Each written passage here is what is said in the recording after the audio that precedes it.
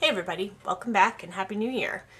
Um, today I'm going to show you a technique that I call altered dry embossing and it uses the embossing folders that go with the Sizzix and the finished card, I'll show you real quick, looks like this. This is actually my leadership swap but I just I made very few of them so uh, chances are if you're going to leadership you probably won't get one. I think I have about 12 to swap um, but better than nothing. It uh, uses one of the new celebration sets, uh, Vintage Labels it's called, and right now I'm just going to show you how to do um, the technique part. So I'm just going to go over the, uh, the altered dry embossing for you.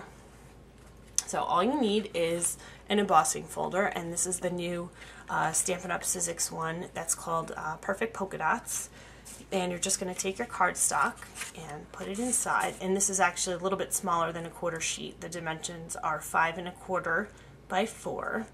And you want to line it up simply because with the polka dots if, if it's crooked you'll be able to notice it pretty easily.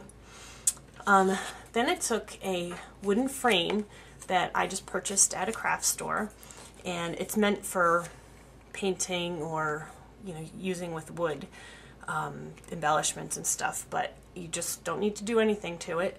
Um, you just want to line your paper and your embossing folder up with the wood, with the center of the wood, and then you're going to stick it on your big shot. And I'm using uh, one tab, tab one on the um, platform, and also one cutting pad. Stick it in the middle of your platform, and then just crank it through. You'll notice that there's not a whole lot of resistance. It goes through pretty easily, but there is enough so that you get the embossed image and it only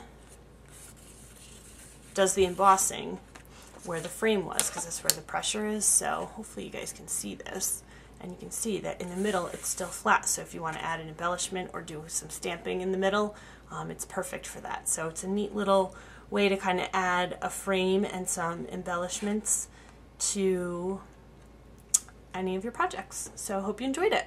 Have fun!